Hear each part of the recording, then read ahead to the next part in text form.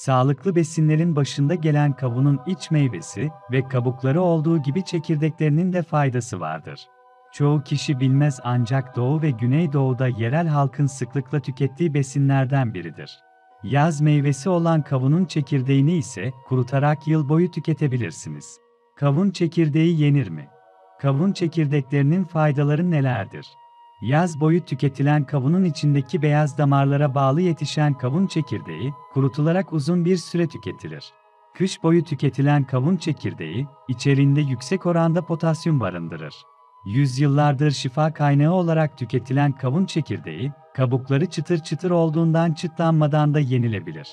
Yüksek oranda C vitamini barındıran kavun çekirdeği hücre yenilemekte oldukça etkilidir.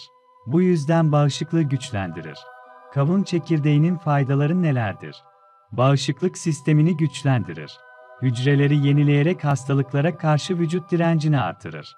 Düzenli tüketilen kavun çekirdeği mide duvarını korur.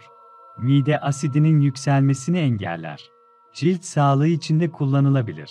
Özellikle akne tedavisi görenler için kavun çekirdeği suyu iyileştirici yapısı sayesinde tedaviyi hızla sonuçlandırabilir. C vitamini sayesinde antioksidan etkisi olan kavun çekirdeği, kaynatılıp içildiğinde solunum yollarındaki virüsleri temizler. Güçlü bir balgam söktürücü özelliğe sahiptir. Kısa sürede hava yollarında biriken iltihaplı mukozu atar.